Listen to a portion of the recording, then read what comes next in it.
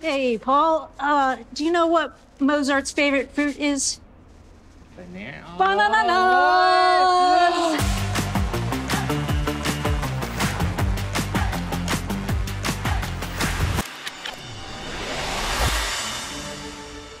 I actually tried two times prior to my hip surgery to qualify for Boston and ended up not finishing those marathons due to injury and pain. Not a lot of people are able to get in. I have a couple running friends that have tried for years just to try to get in and they still haven't gone in. I was born on the Hopi Reservation. It makes me really proud to be at big events like the Boston Marathon because just where I come from, the odds are stacked against us. After I had qualified and did the virtual in 2020, you know, I got an acceptance again for 2021, and I was heading out for a uh, 20-mile run that morning, and uh, about 4:20 in the morning, and I got rear-ended by a drunk driver. I did have some injuries that really set me back, and I wasn't able to continue running the way I needed to, so I wasn't able to go do Boston. So to now think that I'm going to be on that stage and running through those hills in Newton and running down through through the Wellesley Scream Tunnel, and I get chills thinking about it. This is gonna be fun. AB marker. I grew up not running Yeah, actually Bree. or having a lot of trouble. Is that Bree? Oh my it going? gosh! Des! Nice to meet you. so nice to meet you. How was the workout? I'm like shaking right now. So am I. I think this might be for you.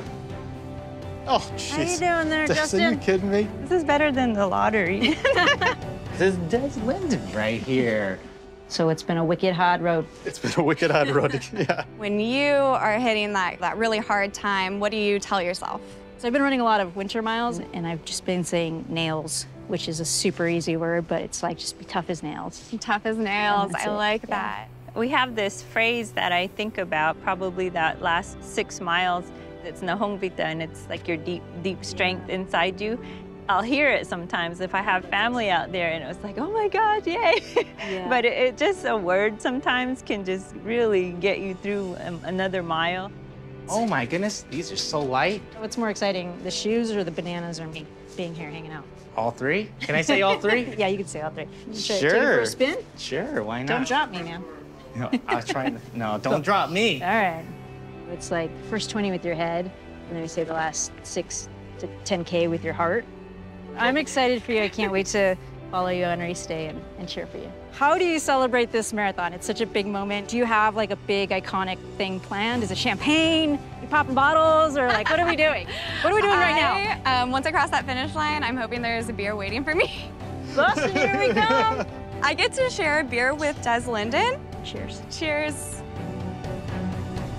I'm gonna be thinking about this for forever.